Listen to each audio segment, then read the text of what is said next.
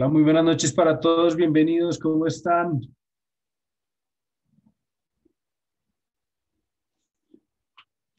Un placer saludarlos. Bienvenidos. ¿Cómo están todos? Por acá un saludo a Luis. ¿Qué tal? ¿Cómo estás, Luis? Bienvenido. Buenas noches. Ya estamos en vivo tanto en Facebook como en Zoom. Empezamos esta transmisión de hoy lunes, donde tendremos la lectura del capítulo 6, Market Wizards, entrevistas con Top Trader Jessica. Muy buenas noches, ¿cómo estás? Bienvenida. ¿Qué tal? ¿Cómo va todo? Espero todo vaya súper bien. Carlos, muy buenas noches, bienvenido. Placer saludarte. Igual a toda la audiencia de Facebook. Por acá Juanda volvió, qué bueno tenerte por acá. Eh, Mirko nos pregunta cuál es el Facebook. Facebook es TICMIL Español, pero te recomiendo que te quedes por acá, realmente es mucho mejor.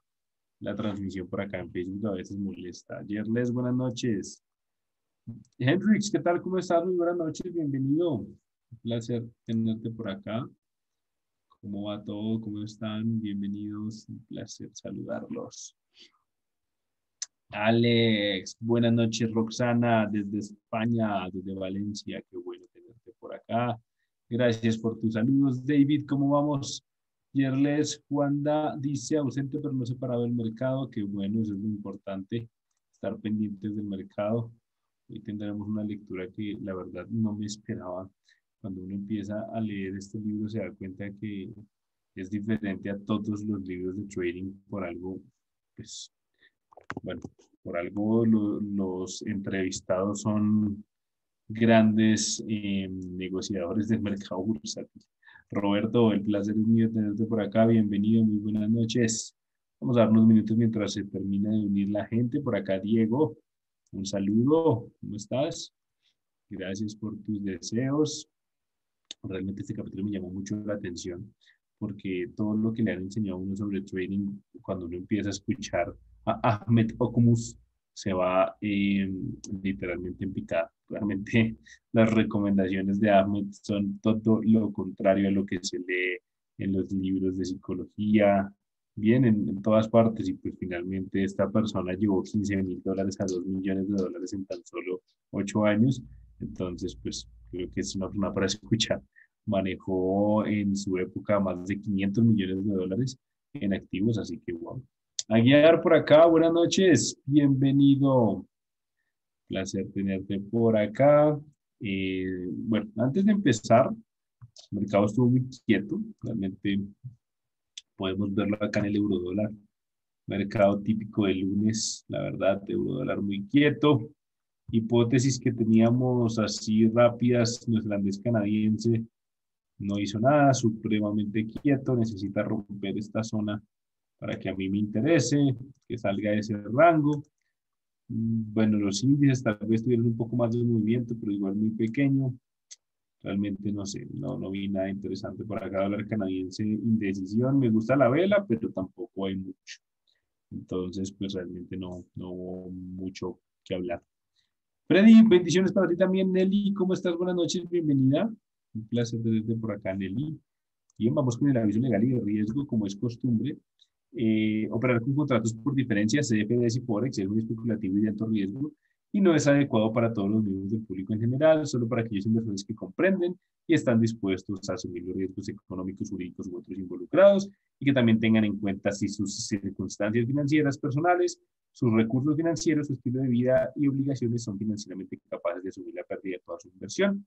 Vale, la información presentada no es una recomendación de inversión, Tampoco, por supuesto, es asesoramiento financiero. Por acá, Camilo, muy buenas noches. David nos dice, en marzo ha estado todo lo contrario a febrero. Sí, tiene toda la razón. Movimientos muy pequeños, movimientos muy aburridos. Em, claramente tenemos política monetaria el miércoles, así como el, la semana pasada estuvo muy lento el mercado antes de la CNFP pues supongo que esta semana también se está anticipando ante el aviso de política monetaria que tendremos y por ende pues tendremos que esperar a ver qué ocurre en mañana miércoles, mañana miércoles, pasado mañana, hoy estamos a lunes, pero seguramente marcará un antes y un después eh, para los índices y por supuesto para el dólar. Ahora quiero también que le demos a una mirada en Trading de XY, a ver qué pasó, no lo he visto bien todo el día, para ver qué, qué terminó por hacer. Bien, no siendo más, empecemos con este eh, señor Ahmed Okumus, un turco que decide emigrar a, a Nueva York, ¿vale? Porque pues claramente era la cuna de los mercados, se enamoró del mercado financiero desde que estaba en el colegio, siempre le encantó, trató pues de participar en el mercado turco, sin embargo sus expectativas eran llegar al cielo y pues por supuesto creo que el cielo en el mercado financiero no hay algo mejor que Wall Street, realmente es pues lo mejor que uno puede negociar, eh, entonces pues decidió mudarse a, a Nueva York en ese momento, 1989, tenía una gran oficina que describe Schwager como algo muy lujoso.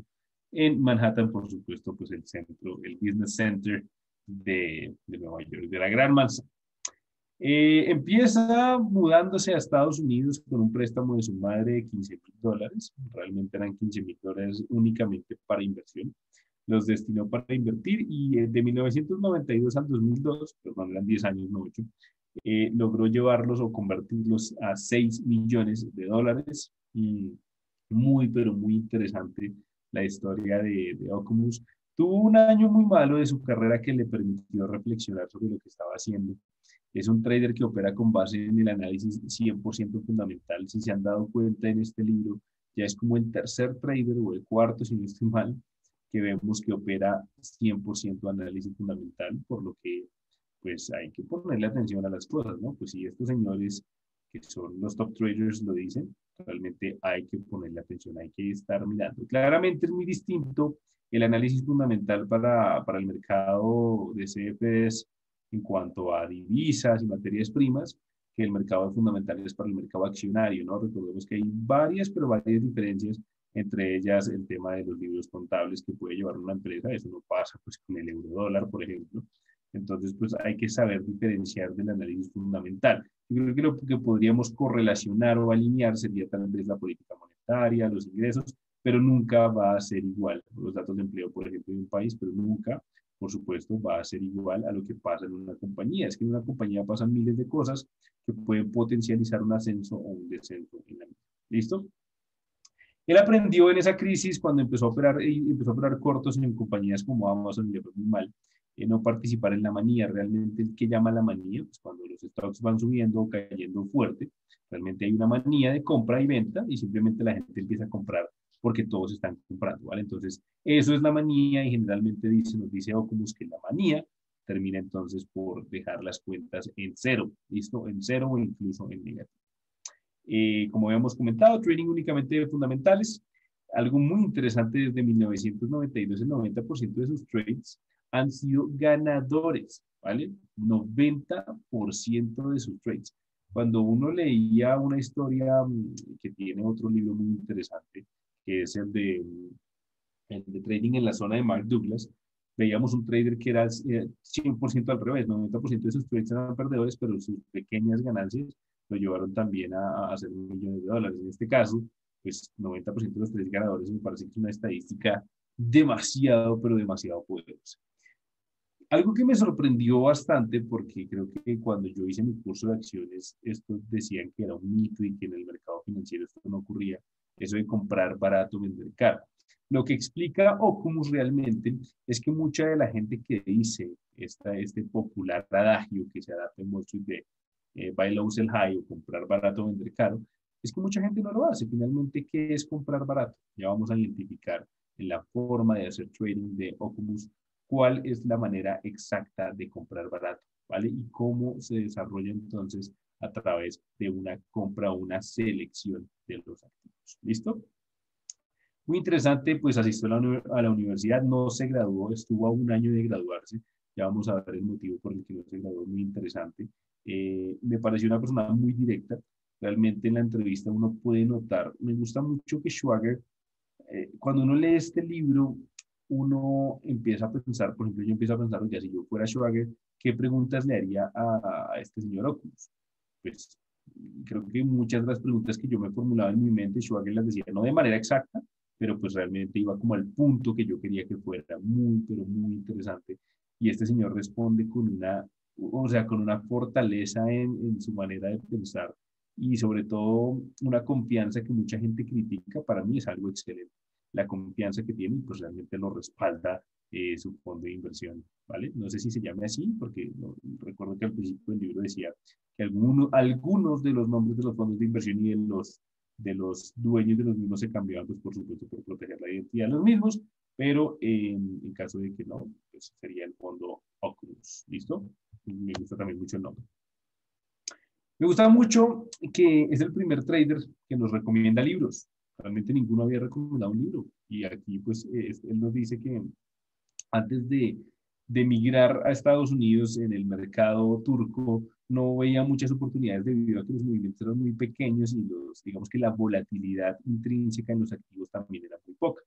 ¿Qué libro recomienda? Stock Market Logic de Norman Fosbach y One Up on Wall Street de Peter Lynch. Realmente ninguno de los dos lo he leído, por supuesto ya los tengo dentro de mi selección de libros para leer.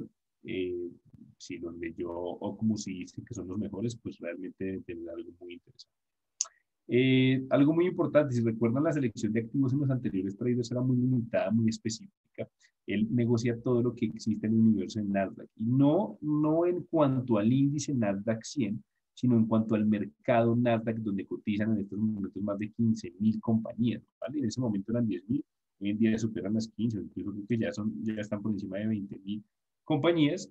A lo que Schwager le preguntaba, pues que si eso no lo distraía, pero realmente eh, pues había una razón de eso. Por acá Juanda nos dice, los, los verdaderos traders que aplican el círculo interno no tienen un 80% psicológico y un 20% técnico. El ciclo de 70% de riesgo, 20% de psicología, 7% de análisis, 3%, 3 de estrategia. Una persona no puede hacer operaciones tan precisas gestionando con las máquinas de HFT, los algoritmos de bancos y hedge funds. Estos tiburones no operan con psicología de 80% ni análisis 20%. Ellos siempre ganan es porque dominan la matemática, estadística, física, etcétera, por lo tanto su riesgo. Los proveedores de liquidez no hacen operaciones, ellos solo ganan de spread y cobertura, ya que el mercado necesita estar eficiente y líquido. Por acá nos copia Wanda, ¿vale? Compra acciones que estén 60 a 70% por debajo de su máximo en todo lo que lleva en Wall Street. Nunca ha comprado acciones que hagan un nuevo máximo. Una estrategia muy interesante. Él empieza a buscar dentro de ese gran universo de acciones, empieza a buscar compañías que estén muy, pero muy baratas, pero ojo, Ojo porque es que aquí uno se puede confundir y decir, ah, no, pues eso es muy sencillo. Entro al mercado Nasdaq y empiezo a buscar las miles de compañías que cotizan. El problema es que el análisis fundamental, recordamos que en análisis fundamental buscamos eh, el precio intrínseco, el valor intrínseco de la compañía para saber en qué precio debería estar dependiendo de varios factores, entre ellos sus ganancias por mes, eh, los productos que saque algo interesante de Documus es que en la negociación de 1990 hasta el 2000 negoció muchas compañías de tecnología. Por supuesto, en ese momento estaban en un completo auge y la liquidez era bastante alta. Eh, me llamó mucho la atención que negocia, hace una mezcla, una alternativa entre opciones sobre acciones y entre la acción cruda, cosa pues que me llamó realmente la atención porque hay muchos traders que critican las opciones sobre acciones. Realmente si ustedes se, van a ver, hay varias gente que dice que eso es para perdedores y pues creo que Ocumus podría decirles, pues entonces yo sería un perdedor y yo creo que una persona que gerencia un fondo de 500 millones de dólares se pueda considerar un perdedor. Importante, eh, él hace un análisis muy detallado de los libros contables, analiza muy bien la compañía y algo que no puedo creer es que no deja correr sus trades. Yo creo que eh, el primer, el primer, la primera lección que le dan a uno cuando empieza a hacer trading es deja que tus trades corran, ¿vale? Deja que, deja que la fluidez llegue a lo que pueda, deja de hacer inversiones a largo plazo, mediano plazo. Cuando él se gana entre el 20 y el 25% de lo que invirtió, cierra el trade. Recordemos que en nuestra manera de hacer trading siempre tratamos al menos de doblar el capital, ¿vale? Ni siquiera de triplicar, porque el 2 a 1 sería entonces triplicar nuestro capital. En este caso, Ocumus lo que hace es completamente distinto a una gerencia tradicional, pero lo respalda su 90% de aciertos en el mercado. Realmente lo importante aquí son los resultados más allá del tipo de operativa que lleva. Cuando dice nunca ha comprado acciones que hagan un nuevo máximo, pues esto realmente es salirse de la manía, ¿no? En la manía todas las acciones que van subiendo, pues la gente simplemente empieza a comprarlas y se deja llevar por lo que se dice la fiesta. Él no hace eso Él siempre las investiga y algo muy importante, no pone stop loss en sus trades, ¿vale? En opciones o acciones no entiendo, realmente es algo que es completamente entendible. Lo, yo les comentaba, cuando uno negocia un contrato que cuesta 100 dólares, pues mi stop loss en el peor escenario es que la compañía se vaya a cero. La compañía no, el contrato como tal, perdón, el contrato se vaya a cero y, yo pierda mis 100 dólares, pero en el mercado accionario, por supuesto, si una compañía cotiza 35 dólares y se va a cero y yo no tengo stop loss, podría quedar en, quiebra. Bueno, en, en quiebra no, pero con mi cuenta en cero. A lo cual le pregunta Schwager, muy directo, como, ¿por qué no pones stop loss? No, no ¿Qué pasa si la compañía se va a la bancarrota? Y él dice, no se va a la bancarrota. Y él le dice, pues, ¿cómo así? O sea, ¿tú cómo sabes eso? Eso no lo saben ni tú ni nadie, ni el dueño de la compañía, ni el gerente de ningún fondo de inversión, ni nadie. Realmente es un, algo completamente impredecible. A lo que él responde, mi análisis es tan eficiente que ninguna compañía que yo compro se puede ir a la bancarrota. Realmente esto es algo, pues, muy difícil de saber, pero pues creo que con una investigación muy, pero muy, muy detallada se podría llegar a un 90% de asertividad en cuanto a que una compañía se quiebre o no. Si hoy en día nosotros pensamos, oiga, ¿será que Apple se puede quebrar? Pues de poder quebrarse, se puede quebrar cualquier compañía en el mundo, pero vamos a ver si realmente se puede quebrar. Por supuesto, ese análisis que conlleva un análisis de contabilidad de la empresa, ventas, eh, nuevos ingresos, lo que son los earnings, el calendario de earnings, ya lo hemos visto en varias ocasiones, y todo esto realmente potencializa la manera de hacer las inversiones de Ocumus, en donde compra, les pongo un ejemplo, si una compañía está cotizando a 100 dólares y se cayó hasta, hasta 7 dólares, pues es una compañía que, que Ocumus quisiera comprar, ¿vale? Se cayó a 7 o a 10 dólares, por ejemplo, pues es una compañía que está perdiendo su valor, que está alcanzando nuevos mínimos y que en cualquier punto podría empezar nuevamente a subir. Pero ojo, algo muy importante que lo aclara bastante porque no quiere, no quiere como que se pierda la gente. Nada, listo, simplemente es ver la gráfica, buscar una compañía que esté cayendo entre el 60 y 70% debajo de su máximo anterior del día o del gráfico mensual donde lo esté negociando, es que los fundamentales siempre tienen que apoyarla, ¿vale?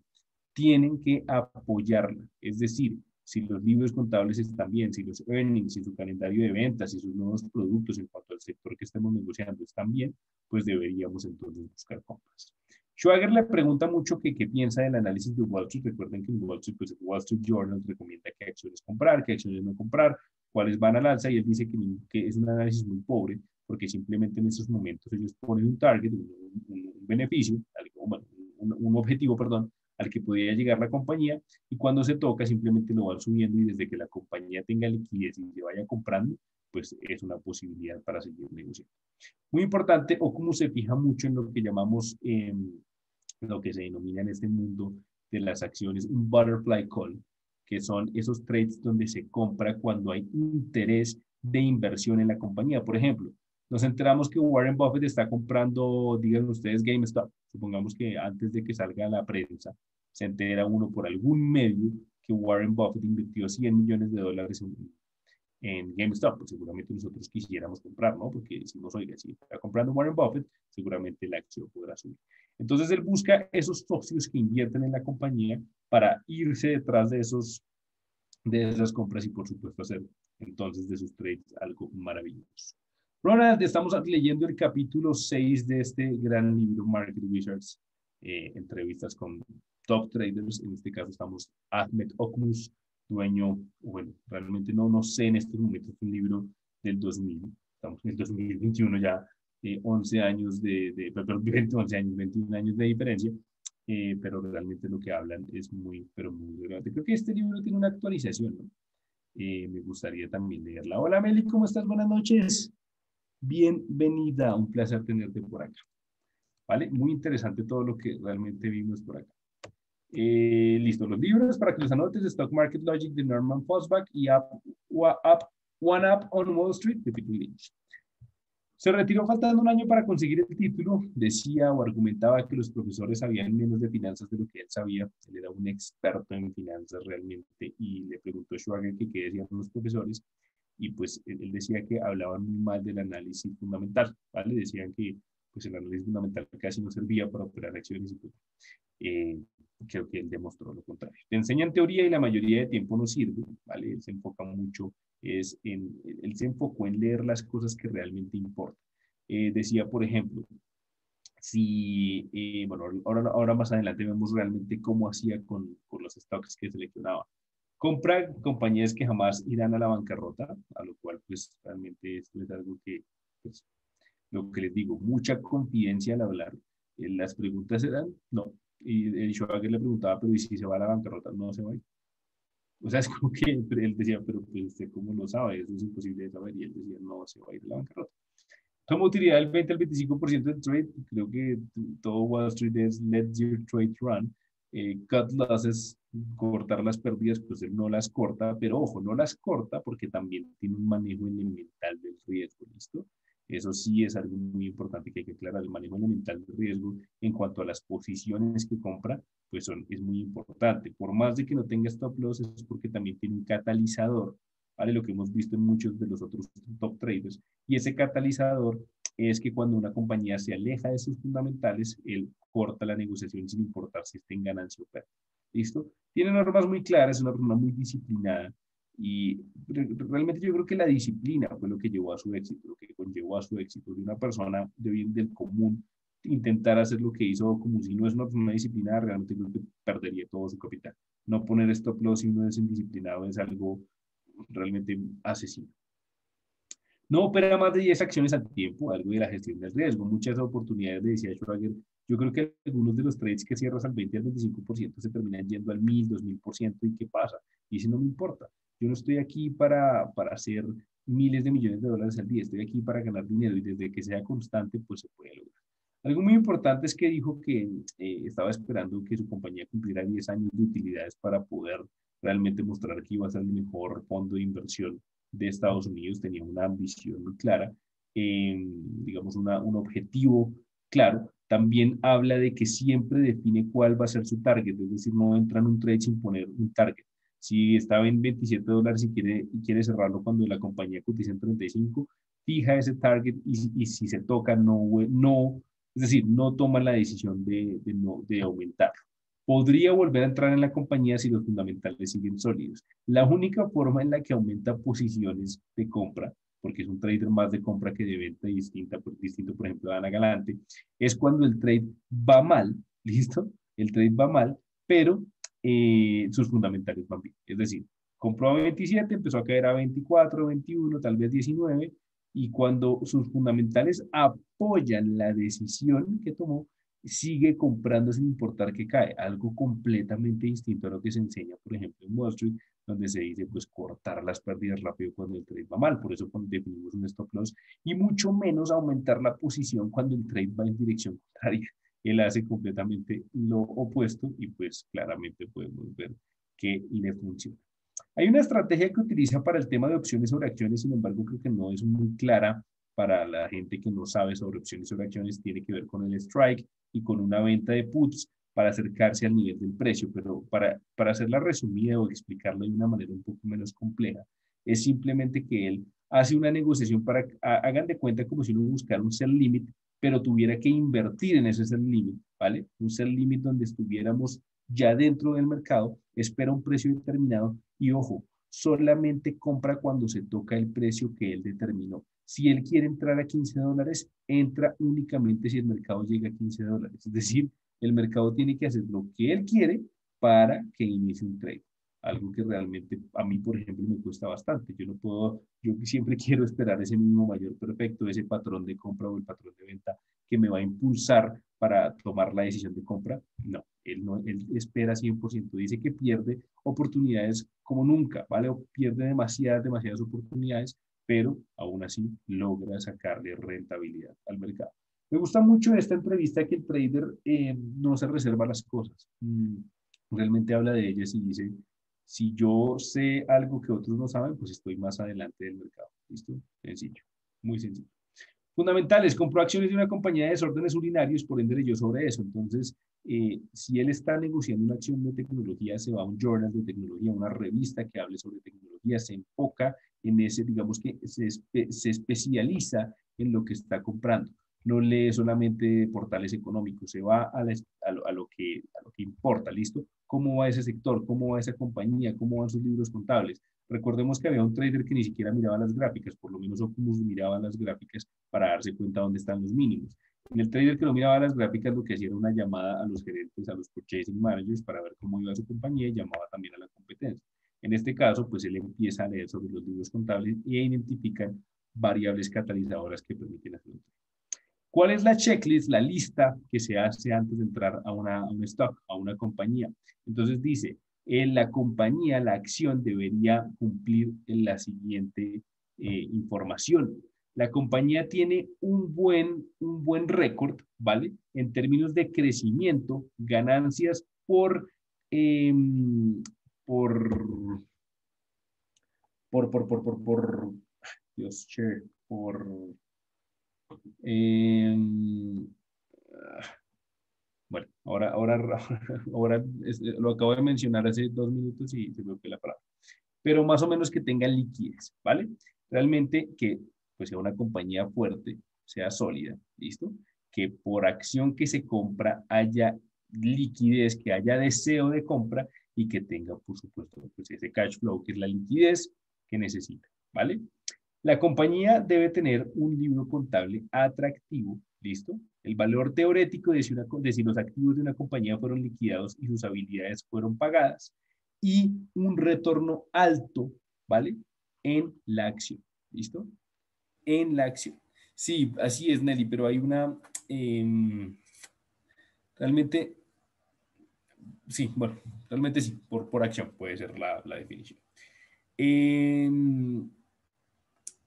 que, la compañía, o bueno, la acción, perdón, haya bajado eh, y esté cerca de alcanzar un mínimo. ¿Listo? Pero esta debilidad debe ser o, tiene que tener un motivo específico a corto plazo, mientras que en el largo plazo los fundamentales deben permanecer fuertes.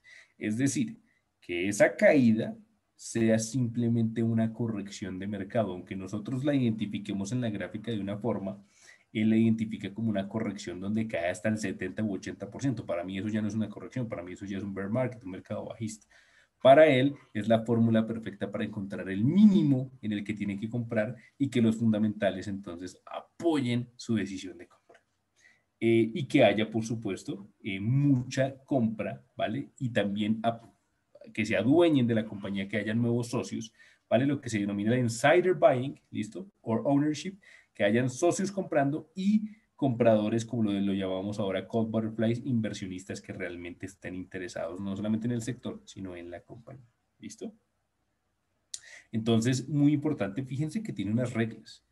Y él dice, se tienen que cumplir esas cinco para yo entrar en un trade. Por supuesto, tiene algunas excepciones, pero realmente es una persona que sí cumple con sus reglas, sí cumple con su plan de trading. Realmente manejar 500 millones de dólares, uno tiene que cumplir con su plan de trading. Han habido meses donde ha tenido drawdowns muy altos, eh, superiores al 30-35%, ¿listo? Pero realmente los recupera en uno o dos meses. Es una persona realmente impresionante este Oculus. Reglas. Haz tu propio análisis, conoce los activos que estás comprando. Eso es algo elemental. Compra barato, realmente eh, yo en mi curso de acciones vi compra caro, vende más caro. Sé disciplinado y no dejes que las emociones te controlen. Pues esto realmente es algo que eh, todos los libros de psicología nos tratan de enseñar. Cómo no dejarnos controlar por las emociones. ¿Listo? Cómo no dejarnos controlar por esas emociones. En la actualización, por supuesto, eh, es una persona que hacía, hacía trades largos, hacía compras em, todo el tiempo y había algunas que las dejaba a largo plazo siempre y cuando no siempre y cuando no, pues, no superaran su, su toma de beneficios en su target del 20 o 25%, pero cuando hacía cortos, cuando ejecutaba cortos, realmente eh, lo hacía en el corto plazo. Lo que le decía Schwager, que me pareció interesante una pregunta, fue, bueno, Ocumus, ¿qué pasa? Pues entiendo un poco tu operativa. Cuando una acción está cotizando en precios mínimos, la posibilidad de que siga cayendo es, es, pues es remota, podría irse a la bancarrota, pero es muy difícil. Mientras que una acción que sube puede seguir y seguir y seguir y seguir y seguir y seguir y seguir subiendo, ¿vale? O sea, no hay, no hay límite, lo hemos visto en las gráficas. Realmente, cuando una acción se está acercando a sus, no sé, 4 o 5 dólares de cotización por acción, pues entonces esa acción termina por parar o simplemente caer de una manera mucho más lenta, mientras que una acción que está disparada como Tesla puede llegar a cotizar 100, 200 dólares en un solo día y eso pues por supuesto mataría a alguien que no entre con stop loss, ¿listo? Julio Enrique, muy buenas noches. Le fue muy bien en la burbuja.com, recordemos que el análisis de Schwager es el track record de 1995 hasta el 2000. En el 2000 y en todo el año hizo un, una, un gross revenue, unos ingresos de más del del 100% anual, 143% anual, una cosa monstruosa, eh, mientras que um, hubo meses donde tuvo drawdowns fuertes, pero siempre se terminaba recuperando dos a tres meses después.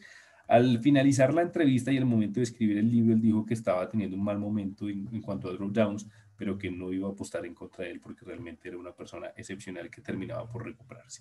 Cuando empezó a gerenciar los 500 millones de dólares, eh, dobló lo que él comentaba por acá, eh, de que operaba solamente 10, 10 acciones al tiempo, ¿bien?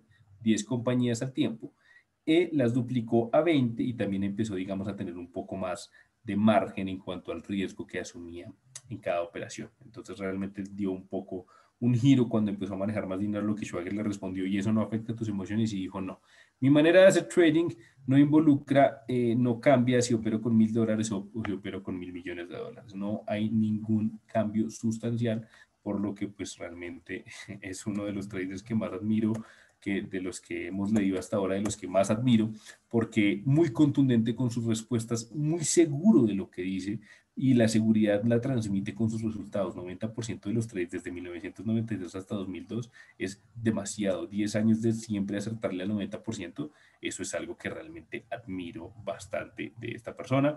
Eh, compartió, realmente el anterior trader no me gustó para nada, este sí compartió mucho pues eh, lo que hacía, cómo lo hacía, cómo investigaba. Bueno, le faltó algo, creo que sí le faltó como explicar realmente qué era todo lo que explicaba, pero pues tampoco, pues, o sea, no, no estamos en una clase con él, simplemente estamos en una entrevista donde nos, nos, nos motiva a ver que, que, sí se puede, que se puede llegar a tener un fondo de inversión, que se puede multiplicar el capital de 15 mil dólares, no en un día, le tomó 10 años volverlo millones de dólares, pero se puede. Realmente si, esto, si este negocio se toma como una empresa, se puede y también pues que a veces Wall Street pues eh, ellos dicen una cosa y si no la contradice le va bien.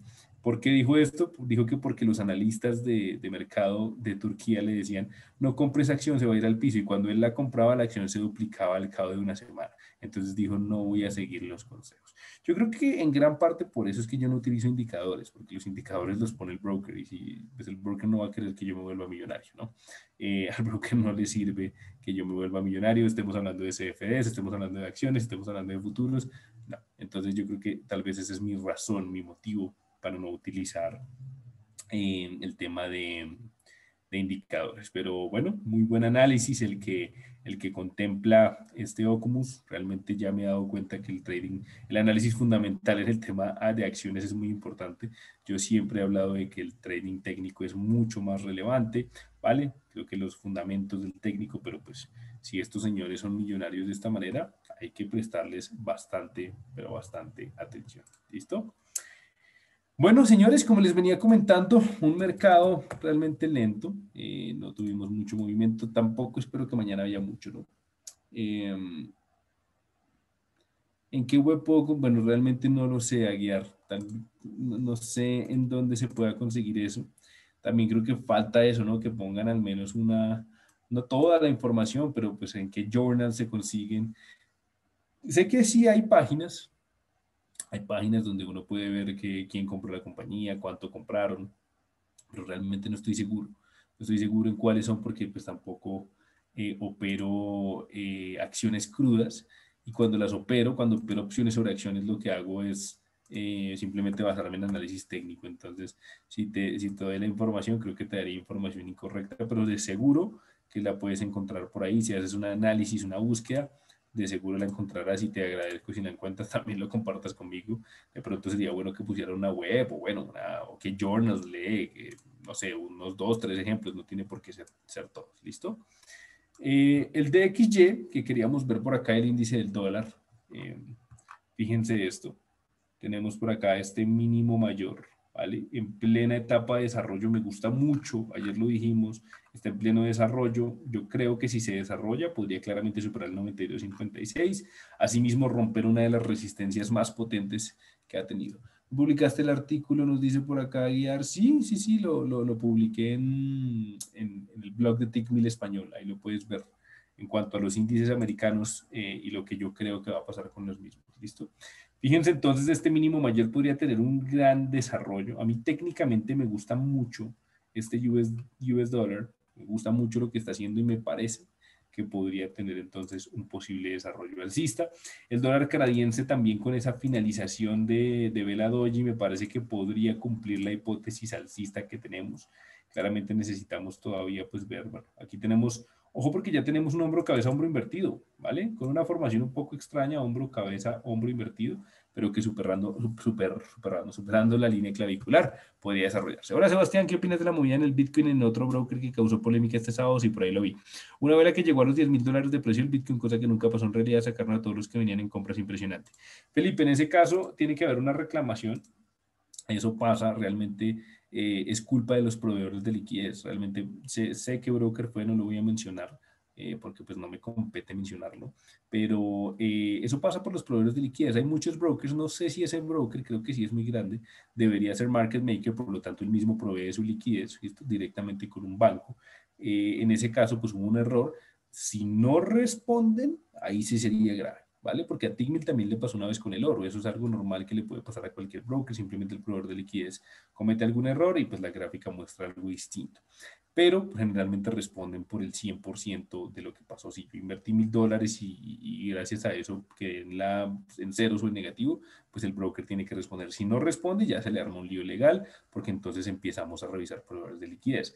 Yo les comenté que en alguna ocasión me pasó algo así. Eh, yo digamos que tenía esta misma plataforma de Tickmill, estaba mirando el precio del dólar australiano en el marco de 15 minutos, ¿vale? Yo estaba negociando unos datos de empleo en sesión asiática, el activo yo tenía, hagan de cuenta, creo que yo estaba buscando un, un short sale, no me acuerdo realmente, bueno, si no, perdón, era un largo, una compra.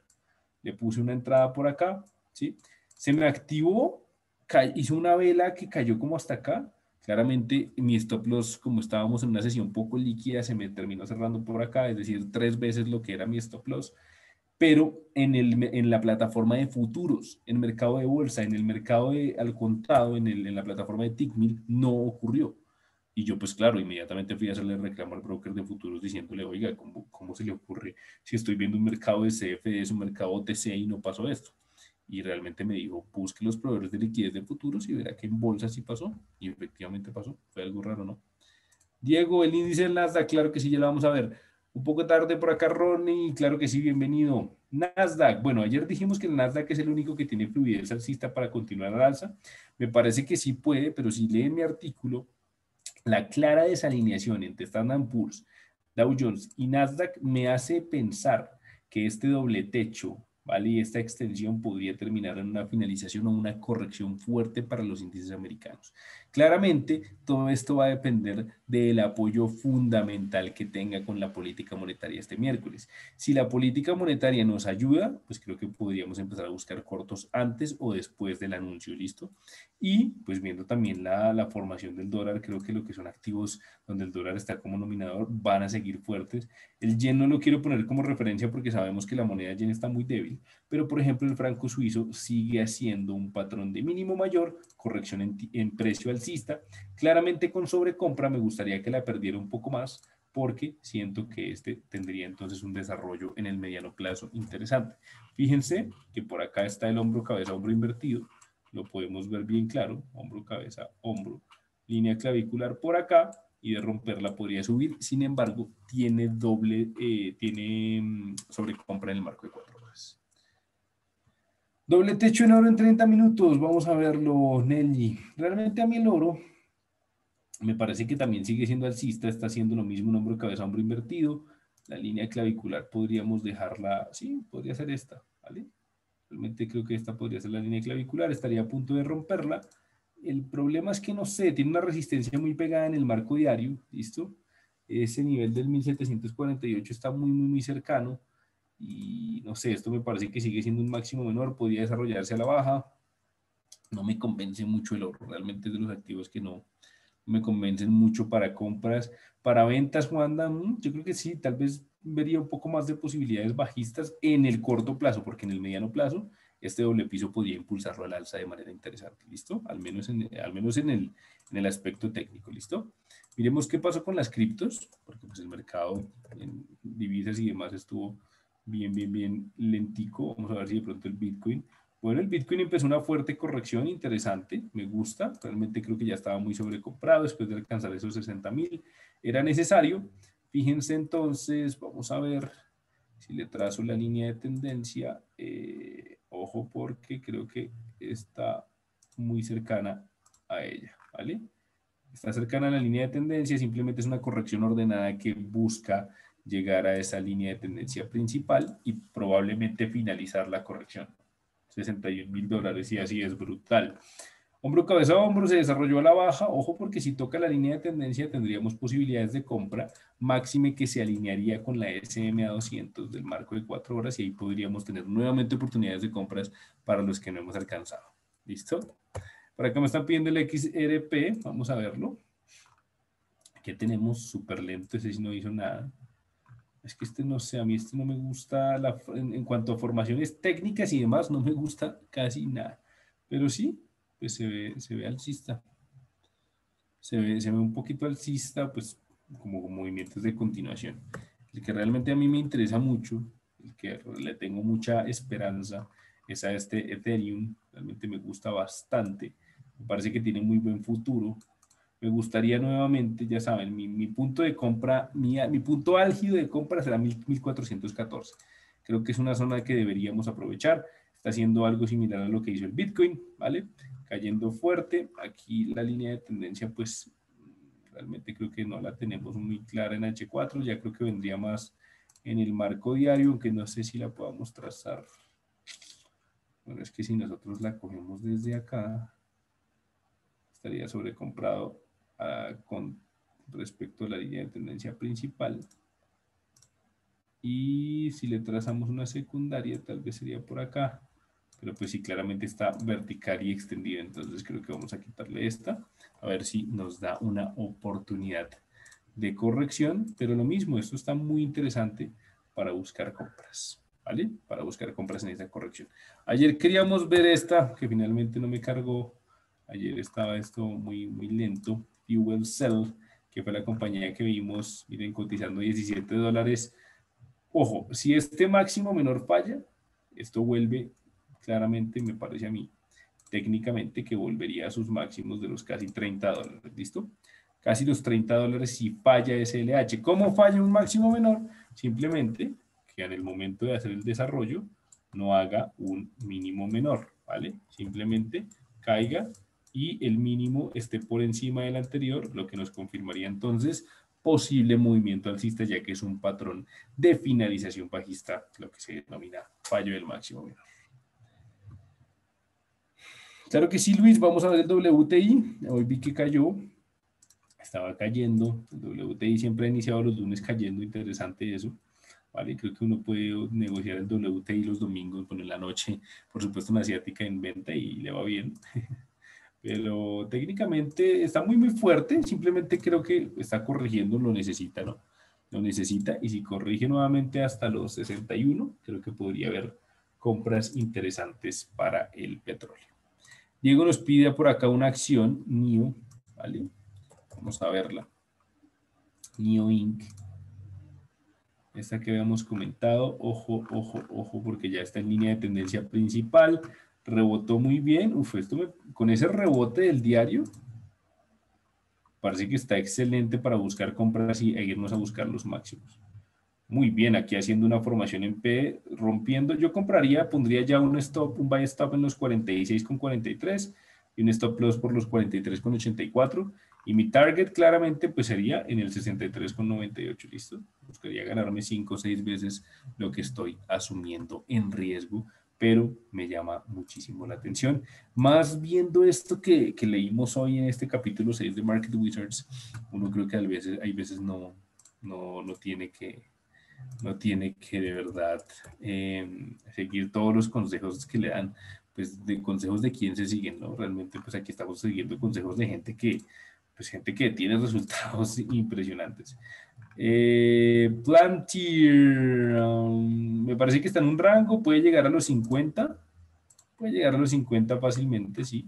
Lo veo alcista, pero en un rango y no me gusta negociar núcleo de mercado. J mía. Mm, J sí se ve muy bien. Miren cómo marca acá un doble piso, ¿vale? Técnicamente muy bien. Vamos a ver si ya rompió la resistencia. Sí, señores, tiene muy buen espacio de simplemente alcanzar sus máximos en los 67 dólares. Creo que en intradía me imagino estará muy bien para negociar. Muy, muy bien, rompiendo apenas. Esto puede mañana amanecer con gap up, me parece sí. Ahora de comprar acá y stop loss más o menos unos 47 tiene muchas ganas. Eh, Sebastián, ¿se recomiendan estar índices por similitud por países o cómo se toman en cuenta? Por ejemplo, Standard Poor's. Sí, así es, Ronnie. Eh, efectivamente, analizas Standard Poor's 500. Cuando hay desalineación en los mismos, como lo en este caso, que hay desalineación, que unos están, unos están máximos, otros están todavía con, con posible subida, pues muestra una clara incertidumbre de mercado. ¿Listo? Eh, por acá Mirko nos dice que cómo veo las acciones de Amazon. Amazon Com Inc. Amazon ha estado muy lento, ¿vale? Pues claramente fuertes, fuertes, fuertes llegaron a una zona interesante de soporte, al menos eso estaba interesante. Miren esta cola de piso indicando posible fortaleza alcista, ¿vale? Pero pues me parece que todo esto sigue estando en ese núcleo de mercado. Ya también pues es que no han hecho split y ya 3081 hace comprar acciones está bien difícil, ¿no? Eh, pero sí, realmente creo que lo que hace este, este señor de Ocumus, muy interesante, No la conocía. Cotizando 22 dólares. También se ve bien alcista. Mira, después de esta martillo tan hermosa en plena SMA, empieza a subir. Así es, así es. DAX con IBEX, Eurostox con el CAC 40, con el FTSE 100 también lo puedes combinar y empezar a mirar qué tan, qué tan, qué tanta eh, correlación tiene. Listo, entre más correlación, entre más alineación, pues más posibilidades tienen de subir. Tesla, Vamos a verla, vamos a ver qué tenemos con Tesla Inc. Eh, sí, súper bien, rompió por acá ya lo que le habíamos trazado en cuatro horas. Rompió formación en P, esto está para comprar. Tesla está hermosa para que llegue nuevamente a sus máximos de los 896 dólares. Me gusta muchísimo Byron. Johnson y Johnson, ¿cómo es que es el ticker? ¿Alguien tiene el ticker de Johnson y Johnson's? Eh, Johnson y Johnson's. Johnsons, Johnsons. Acá, JNJ, Nice. Eh, ¿Qué tenemos por acá en Johnson y Johnsons? Sí, se ve muy bien. Tiene ganas nuevamente de subir hasta los 167. Me gusta mucho cómo respeta la SMA. Sí, tiene ganas. Tiene ganas. SPWL. Vamos a ver cuál es esta. Sun Power Corp. Muy alcista. Muy, muy, muy alcista posibilidades hasta el 51, ¿vale?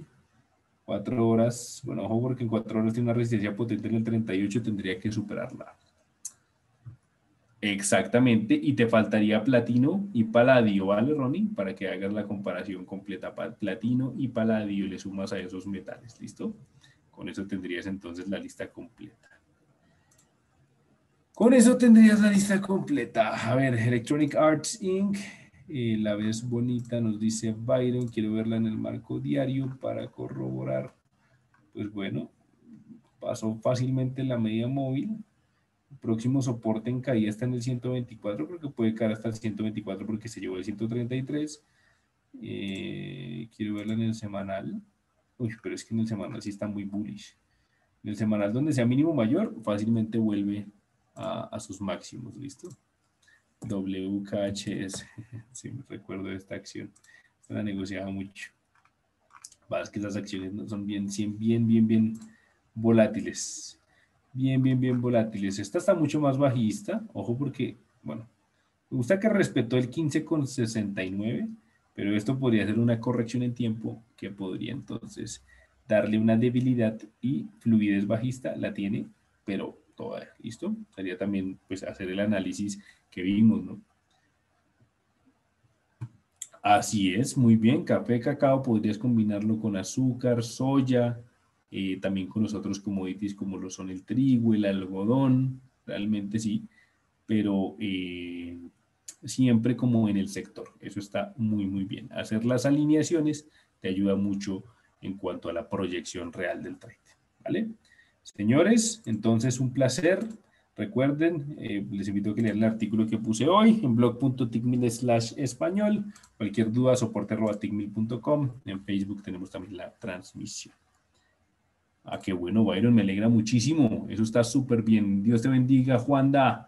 Eh, no, Ronnie, en, YouTube no, solamente por acá. Muchas gracias.